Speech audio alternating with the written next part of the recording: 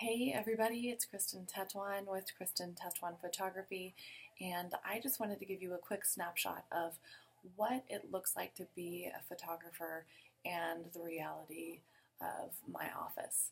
Um, this is my office space that you're in right now, and it is 7:15 in the morning. My kids are still asleep, and I am in my bathrobe, and I have my coffee, and I have been working on some post production this morning and some blogging, and I just really quickly wanted to show you that I'm a human being, and what you see online and what you see other photographers saying and doing is not always a reality.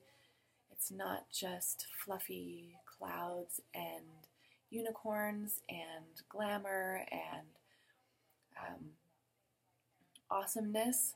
Um, there is a lot of elements of um, non glamour, um, as you can see, um, behind doing the things that we do and creating the um, the perception online of of success and um, and showing our work. So I just wanted to give you a quick snippet of what it truly looks like to be a professional photographer.